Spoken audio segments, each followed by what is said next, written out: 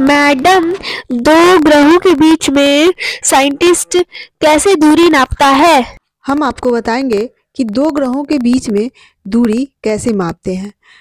इसमें जो है, ग्रह और तारों से दूरी को रेडियो तरंगों की मदद से नापते हैं। इसे कॉस्मिक डिस्टेंस लेडर कहते हैं। इसके लिए वैज्ञानिक दूसरे ग्रहों से तारों तक रेडियो तरंगे भेजते हैं। तरंगे आने जाने में कितना समय लेती है? उससे उन ग्रहों या तारों की दूरी का जो है अंदाज़ा लगाया जा सकता है। तो आप समझ गए होंगे कि किस प्रकार से नापा जाता है। क्या आप समझे? हाँ। कैसे मापा जाता है? रेडियो तरंगों की वजह से।